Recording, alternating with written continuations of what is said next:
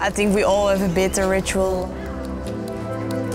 Just like a ride with my yeah lucky things uh, is this one and the bracelets, but for the rest I'm pretty easy.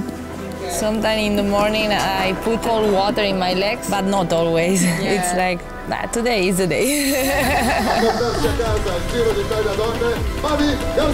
It will be my first tour, so it's a big adventure. yeah, It's oh, it's yeah. I'm just looking forward, train hard, and achieve the team goals.